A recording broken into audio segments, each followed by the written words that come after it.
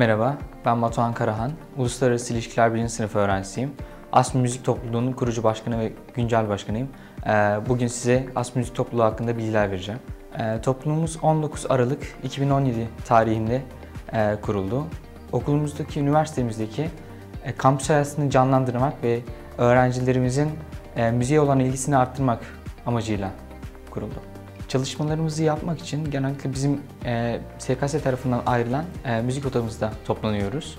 E, şu anda güncel halde stüdyo şeklinde 25-30 civarı e, üyemiz var. Bunun 15'i aktif ve üye olmak isteyenlerin amacı genellikle müzik enstrümanları hakkında bilgi edinmek. Yıl boyunca e, farklı tarihlerde, farklı konseptlerde konserler düzenliyoruz. Bunun dışında projelerimiz oluyor.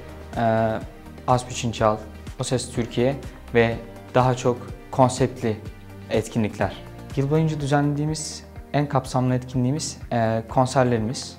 Bunları hazırlık binasındaki büyük amfide gerçekleştiriyoruz.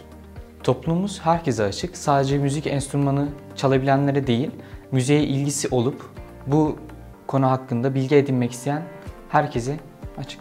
Ben zaten e, müzik enstrümanları hakkında meraklı bir kişiydim ve buraya geldikten sonra sadece bir enstrüman hakkında değil diğerlerini de öğrenmeyi istedim ve bunu gerçekleştirdim büyük oranda.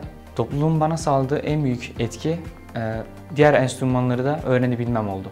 Ben hep şunu söylüyorum, bu üniversitede yapılanları izleyen değil, bizzat kendisi yapan ve kendi hayatına yön veren öğrenciler olacaksınız. Şimdiden hepinize başarılar diliyorum.